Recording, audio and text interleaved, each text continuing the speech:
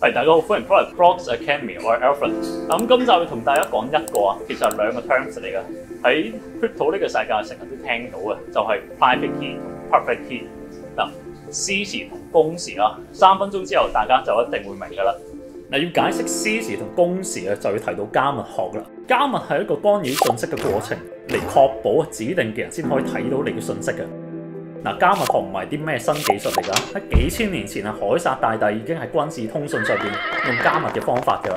佢加密嘅方法咧，就將每個英文字母啊喺字母表上面左移三個位啊。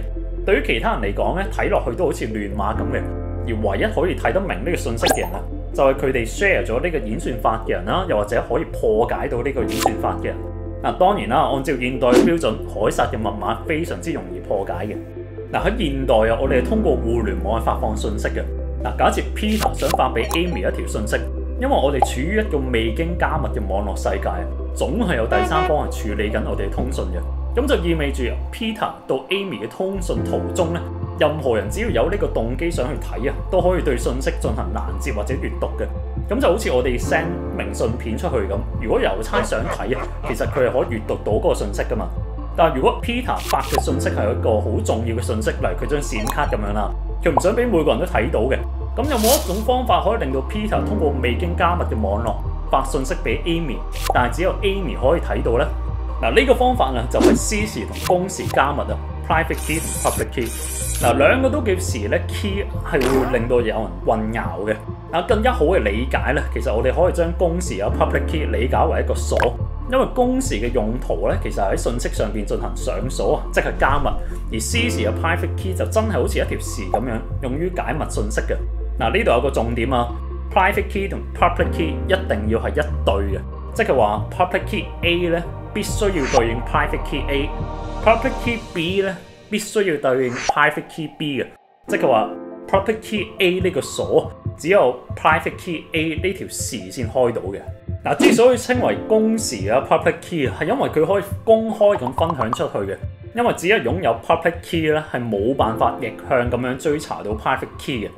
嗱，翻返嚟啱啱提到嘅例子啦，只要 Peter 同 Amy 都透過加密學生成咗佢哋各自嘅 private key，而佢哋用自己嘅 private key 去 generate 到對應嘅 public key，之後佢哋再交換對方嘅公匙啊。Peter 將佢要發俾 Amy 嘅信息用對方嘅公匙去加密。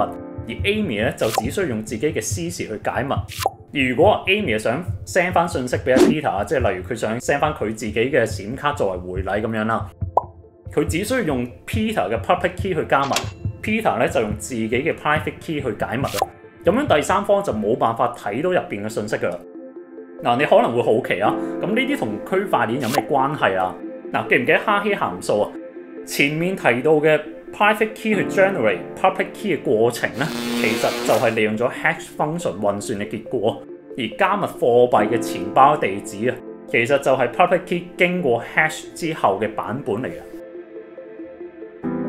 嗱，即係話每次你想 send cryptocurrency 俾人嘅時候，對方 send 俾你嘅 wallet address 其實就係經過 hash function 之後嘅 public key 嚟嘅。而只有對方嘅 private key 啊，先可以開啟到嘅。公司時加密呢個技術啊，係被應用於啊，可以建立一個可以驗證嘅交易系統同埋佢嘅歷史數據嘅。正正係呢一點啊，係令到我哋有機會可以建立一個建基於全球社區真正去中心化嘅系統。啊，多謝各位，下集再見。